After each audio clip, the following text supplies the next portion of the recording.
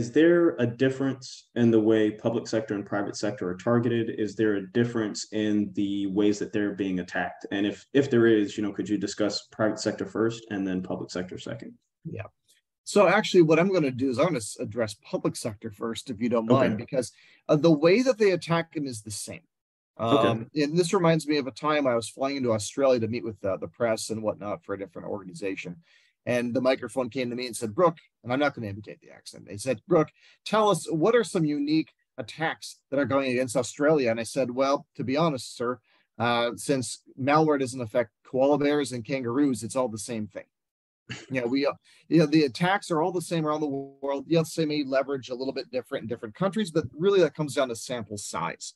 Mm-hmm. Uh, you know, you are the same as a German customer, as an Austrian or Australian or a Ukrainian customer. You're all the same to them. Um, they may not attack you if you're Russian, if they are Russian themselves. Mm-hmm. Uh, they may, you know, because they don't want to, you know, um, I'm trying to find a very polite term for this, but don't um, don't use the bathroom where you sleep. You know, yeah. It's, it's, you know, you know, d- don't make a mess where you sleep, right? So, gotcha and um, uh, there's an old proverb that only a foul bird fouls its nest or something like that. So, mm-hmm. uh, or only an ill bird fouls its nest. Um, but that being said, uh, so the same the public uh, public sector and private sector are attacked the same, but mm-hmm. I would say public sector, if anything, is attacked a little bit more because mm-hmm. one, they you know the budgets sometimes are weaker than some private sector sometimes. Uh, so there's issues with with uh, budgets, there's issues with scale. They have to do more with less people, more and less resources than private sector. Um, then also when they are attacked, uh, they tend to well, they have deeper public uh, the pop they have deeper pockets because they're a public organization. Uh, th- that doesn't mean they can afford more. They just have deeper pockets than the local supermarket, so to speak. Mm-hmm. Right?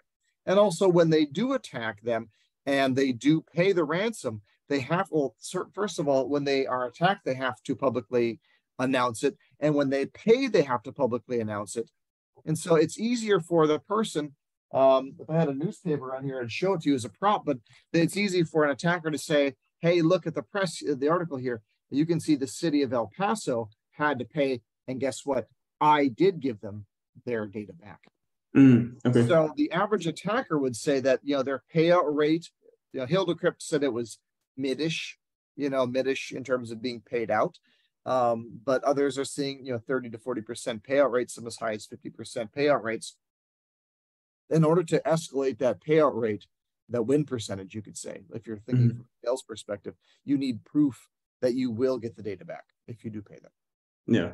So public sector, because it's so much more visible, it just is more advantageous for a bad actor to go after public sector because of the visibility, because they can, you know, request additional funds, whether that's state level, maybe another, if it's a yep. city within a county or something along those lines.